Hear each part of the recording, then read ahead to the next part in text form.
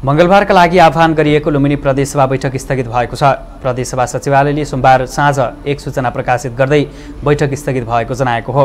प्रदेशसभा सचिवालयका सचिव दुर्लभ कुमार पुनले मङ्गलबारका लागि आह्वान गरिएको बैठक सभामुख तुलाराम खर्तीको निर्देशनअनुसार स्थगित गरिएको जानकारी दिनुभयो।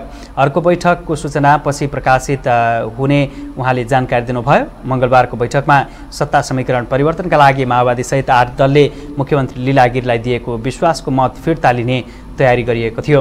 यसअघि फागुन अठार गते पनि सरकारमा सहभागी साना दलले विश्वासको मत फिर्ता लिनका लागि बैठक आह्वान गरिएको थियो तर त्यो दिन पनि राष्ट्रपतिको निर्वाचनपछि सबै दलले एकसाथ समर्थन फिर्ता लिने भन्दै लोसपा र नागरिक उन्मुक्ति पार्टीलाई रोकिएको थियो। माओवादी निकट स्रोतका अनुसार मुख्यमन्त्री लीला गिरी र सभामुख घरतीबीच सरकारको विषयमा कुराकानी भएपछि बैठक स्थगित गरिएको हो।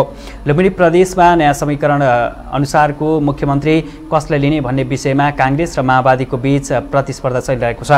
काङ्ग्रेसले निर्वाचन अघिकै एमाले नेता शङ्कर पोखरेल नेतृत्वको सरकारलाई अल्पमतमा पारेर नयाँ सरकार गठन गर्ने बेला भएको सहमति कार्यान्वयन नगरी पुरै समय माओवादी नेतृत्व सरकार चलेकोले अबको पालो नेतृत्व काङ्ग्रेसले पाउनुपर्ने दावी गर्दै आएको छ।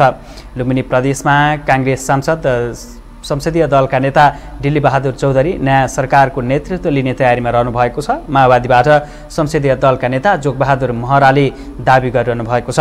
महरा पुष्पकमल दाहालको सचिवालयमा बसेर लामो समय काम गरिसक्नुभएका नेता हुनुहुन्छ। उहाँ मुख्यमन्त्री बन्ने सहमतिमै रोल्पाबाट प्रदेशसभामा निर्वाचन लड्नु भएको थियो।